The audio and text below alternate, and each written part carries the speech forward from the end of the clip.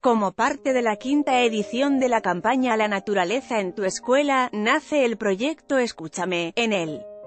que participaron jóvenes estudiantes de secundaria y preparatoria provenientes de 16 estados de la República Mexicana, quienes realizaron obras inspiradas en la ballena jorobada. Por tal motivo, se realizó la inauguración de la exposición que albergará el Museo South Maya hasta el 24 de febrero, y que está compuesta por 80 obras plásticas entre las cuales se incluyen pinturas, maquetas y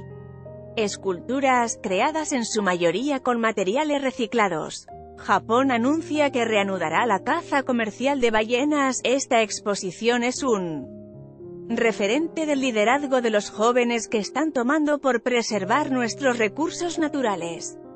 Cada una de las obras muestra el interés de los alumnos por crear conciencia para proteger a la ballena jorobada y cuidar su hábitat, dijo Jorge.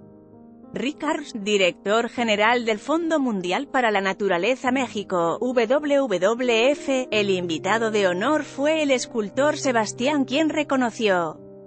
el trabajo de los jóvenes, hoy somos testigos de cómo el arte y la naturaleza se unen, la creatividad es una disciplina que debe ser motivada, y más si conlleva un mensaje de conservación en beneficio del planeta, dijo él. También Premio Nacional de Bellas Artes. Por su parte, Sergio Patier, gerente de marca de Telcel destacó el importante impacto que ha tenido el programa a lo largo de este tiempo y el objetivo del mismo, nosotros queremos crear conciencia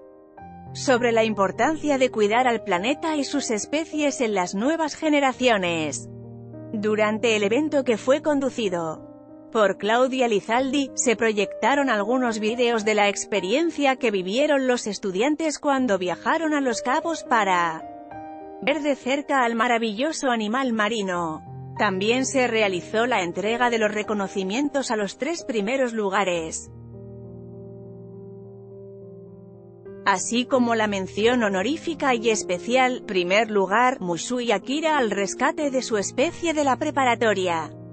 Oficial 126 de Cuautitlán Izcalli, Estado de México. Segundo lugar, Salvando el Mundo del Colegio de Bachilleres San Felipe de